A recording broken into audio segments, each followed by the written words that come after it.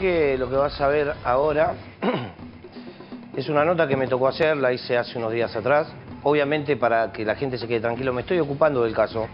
Eh, estoy preocupado y ocupado del caso. Y por ahí ustedes me van a poder dar una, una gran mano. Esta nota la grabé sí claramente para mi canal de YouTube, pero este programa, o por lo menos lo que es el Grupo América, todos estos temas nos sensibilizan mucho y es donde tenemos que hacer foco, siempre, pero siempre. De nada vale que yo tenga 10 mil pesos en el bolsillo, que mi compañera tenga 5, que eh, el otro esté juntando para cambiar el auto. Cuando hay un pibito que llora de hambre, un pibito que está golpeado por la sociedad cuando la responsabilidad debería ser del Estado. ¿Querés ver la primera parte? Míralo. ¿Todo bien? Bien, ¿vos? Bien, acá andamos. ¿Sabes que escribieron? Dijeron que andaba un pibito que vivía en la, en la calle. Me dijeron que era muy chico. ¿Qué edad tenés? 12, 12 años. 12 años. ¿Cuánto se en la calle? ¿Eh? De los 9 años. ¿Qué pasó? Y sí, no me gustaba el ambiente, todo mal ahí, me negaban un plato de comida y, ¿Quién te negó un plato de comida? y con los que yo vivía, ¿Con vos vivías? con los que yo vivía. Y no era mi papá ni mi papá, Ni tu mamá ni tu papá. no, con los que yo vivía. Así que agarré los 9 años y me fui. Me fui a la calle, ¿qué querés que te diga? Me fui a la calle. Y, y ahora donde vos estás sentado, Sí. Esa es mi ¿no? yo me junto con esto, con, con esta me tapo así, uso un par de cosas en la calle, un par de cartón, lo uso almohada, ¿entendés? Es feo, es, es feo está la calle. Es feo en la calle. Y es más, mira, es feo estar en la calle y dos días sin comer, ¿no es feo? Decime si no es feo, ¿Cuánto haciendo comer? de antes de ayer, ¿Qué comiste? ¿eh? ¿Qué comiste? Un pancho de sushi. Un pancho. ¿Y qué haces en la calle todo el día? ¿Por qué te pido, pido? ¿Volquete? ¿Qué, es, ¿Qué sería? ¿Por qué te abro los bolquetes y me meto dentro de los bolquetes a ver qué papá? ¿Qué es lo que me sirve? ¿Te comés de los volquetes? ¿Comés de la basura? ¿Sí? ¿Qué peligros corres viviendo en la calle con 12 años? Todos los peligros. ¿qué ¿Cómo cuáles? Me secuestre. ¿Cómo que te secuestran? Y sí, porque vos sabés que no anda atrevido, no anda violín. ¿Una banda de violines? Sí, ¿Te quisieron zarpar con vos? sí. ¿Y? Y... ¿Crees que te diga la verdad? Sí, más vale. Los agarré a puñalada. La red de puñalada. Me quisieron venir a tocar. ¿Qué, qué querés que diga, papo? ¿Está bien? ¿Te está defendiendo? Chimpa, es mu- muy difícil agregar algo tan contundente como el relato en primera persona de un nene que está contando semejante situación eh, y que tiene mucho más por agregar. Un montón más para agregarlo. A ver, esto obviamente nos va, nos va a golpear a todos, somos todos papás, todos tenemos, tenemos hijos. Y jamás pensamos que un nene de 12 años esté viviendo este tipo de cosas. El nene cuando se va de la casa es porque los padres están en adicción y se golpeaban y lo golpeaban a él. Elige la calle y nunca nadie lo buscó. Ni los padres ni, ni el Estado, nadie. Claro, Porque de un momento a otro, por ejemplo, no fue más a la escuela, si es que alguna vez fue, ¿no? Te lo va a contar él. Y, y- y ahora te lo va a contar y vas a entender muchas cosas. Pero hasta donde vivimos ahora te dice, en la calle es peligrosa, te pueden hacer daño. ¿Qué te pasó? ¿Qué pasó? ¿Algo con vos? Sí, me tocaron la cola y, lo tuve que agarrar a puñaladas. ¿Entendemos? Nene de 10 años, como pasó esto, 10 años, defendiéndose, pegándole una puñalada a alguien porque le toca la cola. ¿Dónde carajo está el Estado? Voy a ser cor- voy a ser cortito con esto y no me gusta hablar. Eh, no tuve una infancia feliz. Eh, no, tuve, no tuve una infancia feliz y lo que voy a decir, no, de lo que justo me dice no te gusta, no me gusta hablar de lo que voy a contar. Yo de chico tuve una infancia dura.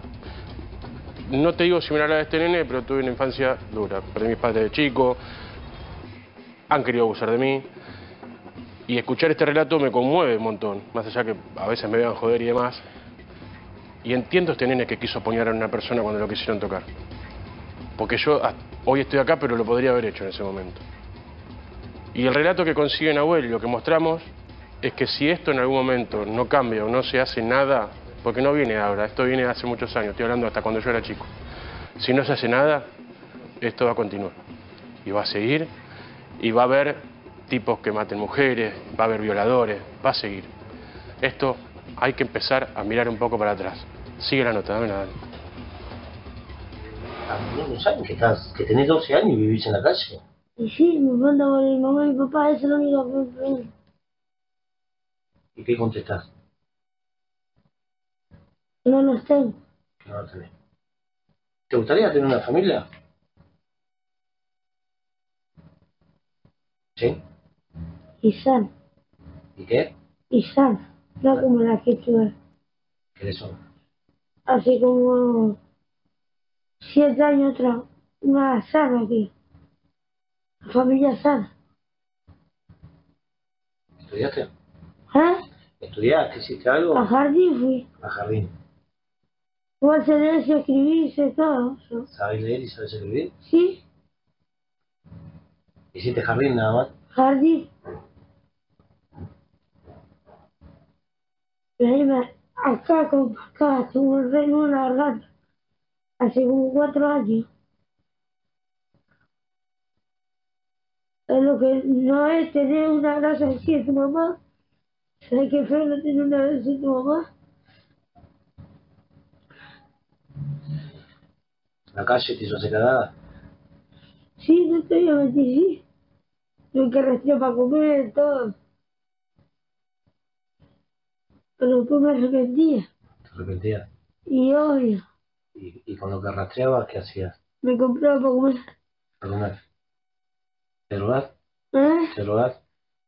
No, fumo flores. Fumo marihuana con 12 años.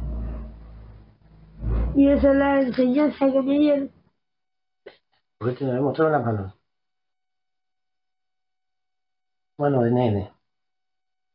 Estás muy flaco conmigo. No te digo que no como bien. Si te ven toda la costilla, Mira, no como yo, yo no no, no estoy bien comido, estoy nutrido. Y ya me lo dijeron. Me puedo dar un ataque de tuberculosis y todo. Sí. ¿Y sí? Me lo dijeron los médicos porque yo fui. ¿Qué te gustaría hacer, Lugo? ¿Eh? ¿Qué te gustaría hacer de la vida? ¿Qué te gustaría hacer? Y a encontrarme con mi hermanita y sacarla adelante. ¿Qué quiere que te diga?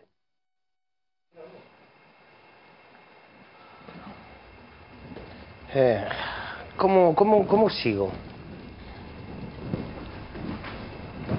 Lo que tienen que dar respuesta no la dan. Está solo lo que te pide. Saben, yo les voy a contar.